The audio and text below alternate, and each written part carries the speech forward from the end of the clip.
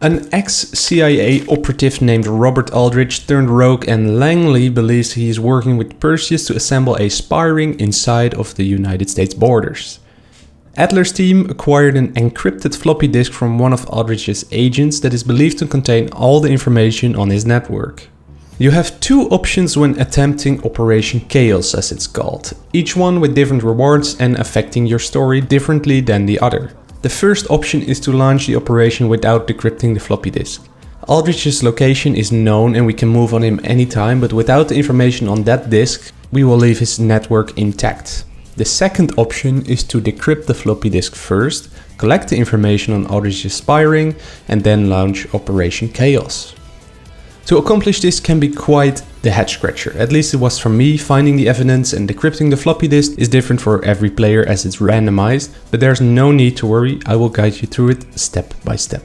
Needlessly to say, there are campaign spoilers ahead.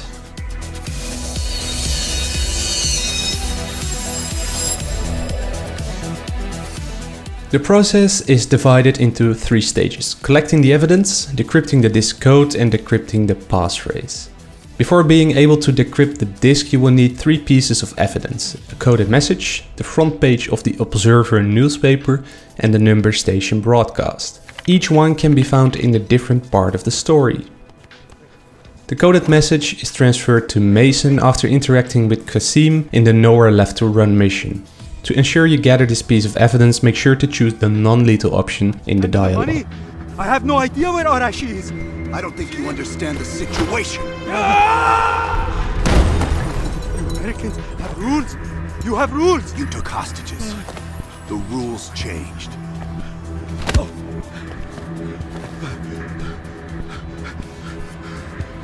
Wait, wait, wait. He's in Turkey. He's meeting someone in Trabzon airfield tomorrow night. Oh, oh, I swear, I swear I don't know. They only communicate with coded messages.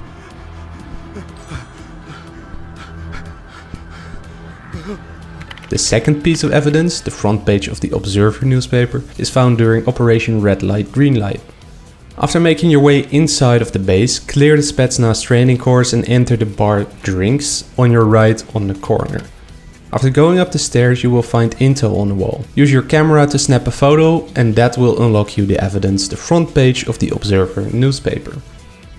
The third piece of evidence, the number station's broadcast, can be found in Operation Brick in the Wall. Before escaping the Hanse bar, Greta, Hudson's informant, will request you to rescue or eliminate a colleague informant of her. As the Stasi enter the bar, leave through the bathroom window, make your way through the alley, past the dressing room onto the balcony overseeing the square. Using stealth, make your way through the building on the ground floor over on the left, move through the building, eliminate the Stasi officer if necessary and enter the door under number 732. After making your way down the stairs and eliminating the three Stasi before or after taking care of the informant, you will find the number station's broadcast on the table to your right. You, I've seen your picture. They're looking for you.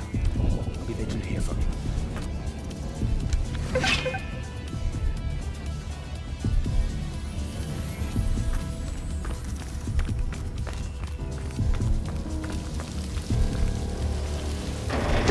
Having collected the evidence, it's time to decrypt the floppy disk. In order to surpass the encryption, we will need a code and a passphrase.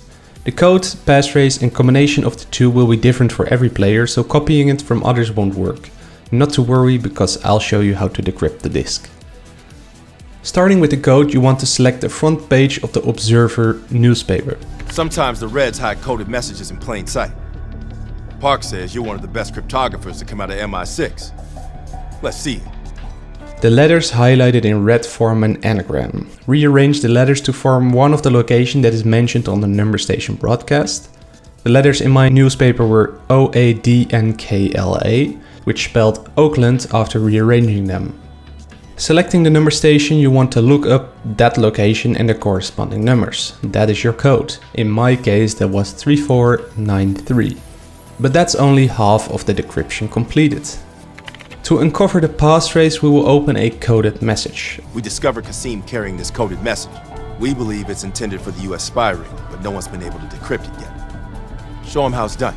On the second row, red and blue numbers will appear, each forming a pattern, but also missing two spots. The red numbers from a pattern, in my case that was 04, question mark, 12, 16 and 20. Each number adds 4, meaning the missing number is 08. The blue pattern forms a slightly trickier pattern, in my case it was 87, question mark, 90, 93, 97. The pattern first adds 1, then 2, then 3 and finally 4, meaning the question mark had to be 88. The red and blue numbers combined give you a 4 digit code. That code for me was 0888. Select the number station broadcast again and match the code to the corresponding location. The location is your passphrase, in my case 0888 corresponded with Charleston. Return to the operation menu and decrypt the floppy disk to take down Aldrich's spy ring. The floppy disk will require you to enter the code and passphrase, in my case 3493 and Charleston. Then you can confirm and you got the intel. Hell yeah, that's it. You did it, Bell. Now that we got what we need, we can safely move on Aldrich.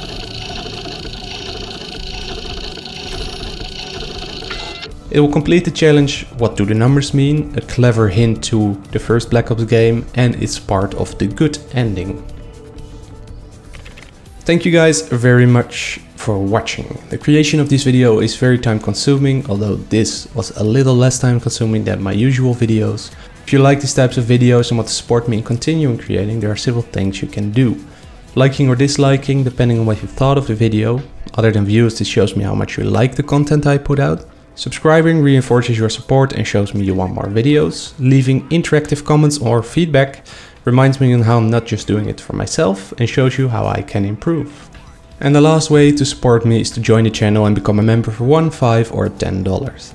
In return you will unlock exclusive rewards such as digital lore items and exclusive posts or perhaps unique ideas you can implement. The more support I gain, the more time and energy I can invest in YouTube and in turn this will result in more frequent uploads and higher quality content. Whatever you decide to do, I'll be here because I like what I do. Thanks again for watching. Peace out.